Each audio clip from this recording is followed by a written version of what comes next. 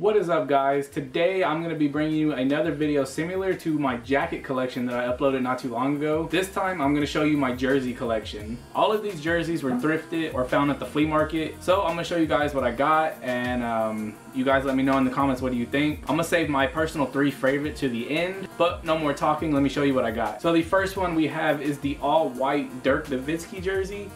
Uh, this one I actually thrifted for $4.99. I'm going to try to remember how much I paid for these, but uh, most of them I probably won't, but this is the all white Dirk. Uh, this one's cool, but that is this one. Next up we have Jason the Jet Terry.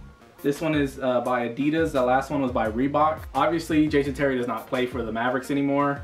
Um, I found this one for like a dollar at a garage sale. And like I said, he doesn't play for us anymore, but he was a key part in winning the championship and getting Dirk his first championship. And for the longest time, I was scared that Dirk was gonna end up like Barkley and not have a championship by the end of his career but fortunately that did not happen. Next up I do have a couple of starter jerseys. The first one is the Troy Aikman Dallas Cowboys jersey, the away, starter size 48. And then you got Aikman number 8 on the back. I don't remember how much I paid for this one, but I know it wasn't very much. The next one we have is the Dallas Stars starter jersey. Um, you have the stars and the logo right there stitching on the front. Nothing on the back, and then you have the little Texas logos on the shoulders. This one is a XL. Um, this one I'm probably going to be getting rid of soon because this one is too big for me. I need a size large in these. Next up we have the Boston Bruins. Um, don't remember how much I paid for this one either, but I know it was no more than $10. Uh, you got the big Boston Bruins logo right here stitched on the front. Uh, this one is actually a size medium, but it fits like a large, so this one does fit me. And again, nothing on the back of this one by Starter. Next up, another one I'm going to be getting rid of soon because it just fits me too big. That is the Chicago Bulls uh, baseball jersey. You got the big starter diamond right there on the left sleeve. Bulls logo right here stitched in on the chest. And then the NBA diamond on the right sleeve. This one is a size XL by Starter, like I said. Um, and then on the back you have the Bulls all stitched in. And again, I do not remember how much I paid for this one, but I do know that this one is in a trip to the thrift. I want to say I paid like $4.99, but you guys can go back and check it out. Uh, I'm probably wrong. These next ones are a couple of Nike jerseys. The first one is the Bullets Michael Jordan jersey.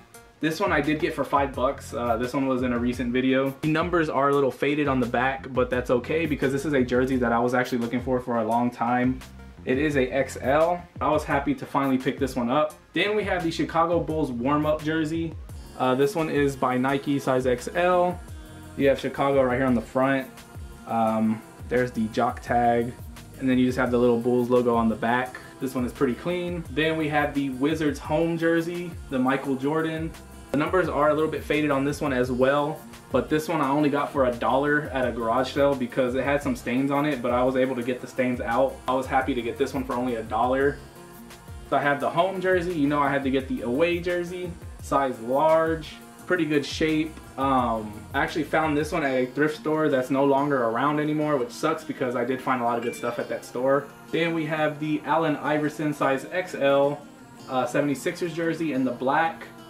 Iverson number three on the back. Again, a little bit of fading, but this one was super cheap too. I think this one was only like a dollar ninety-nine. All right, now we're gonna get into my champion jerseys. The first one is not my size, it is this Grant Hill. It's a youth large, but the reason why I kept this one around, if you can't see, there is a autograph on this one.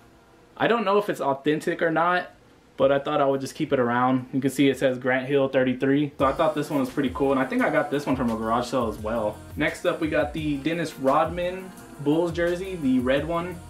Rodman on the back, number 91. No cracking whatsoever on this one. I got this one from the flea market for $10 size 48. This one is super clean. Then we got the Chicago Bulls Michael Jordan jersey in the black colorway. Jordan on the back. No cracking on this one at all. Again, size 48 on this one. And if I got the black one, you know I have to have the red one. Um, I actually got both of these, the black and the red one together from uh, the flea market for, I think I got both of them for $30, so 15 each. Again, no cracking at all on this one as well. Then we got the Team USA Shaquille O'Neal jersey this one, I actually don't remember where I got it from, but I know it was really cheap because it's, as you can tell, it's pretty cracked.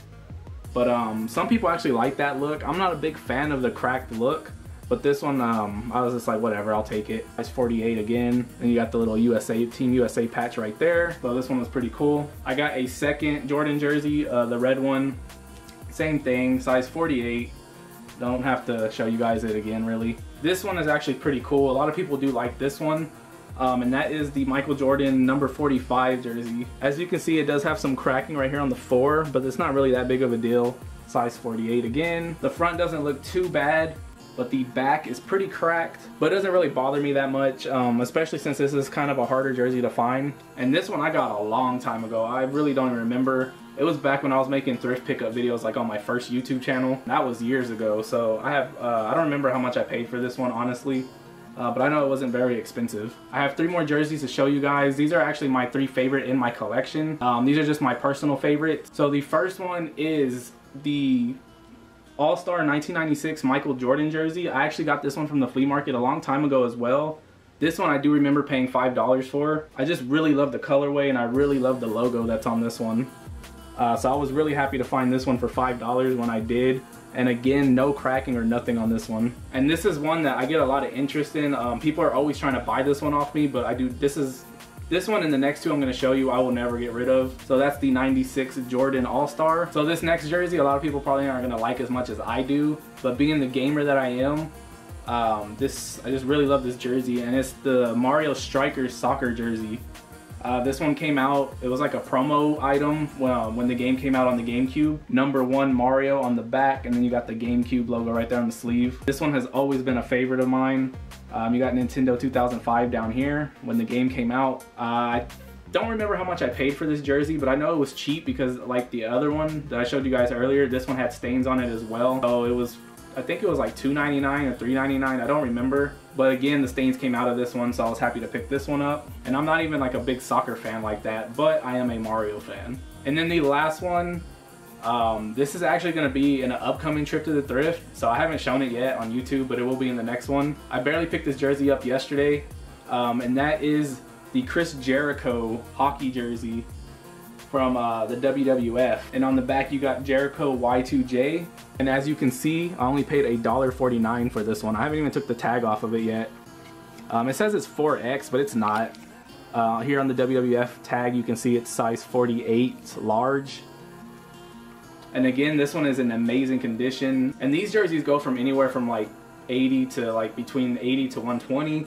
So for $1.49, being the big wrestling fan that I am, um, I was super happy to find this one. The Y2J on the sleeves. Yeah, super dope. So it turns out that my camera died while I was trying to record the outro. So I'm to record it on my phone. So that was my jersey collection, guys. I hope you guys enjoyed. If you did, please hit that like button. Subscribe if you are not already. Drop a comment down below. And I will see you guys soon with another video. So later.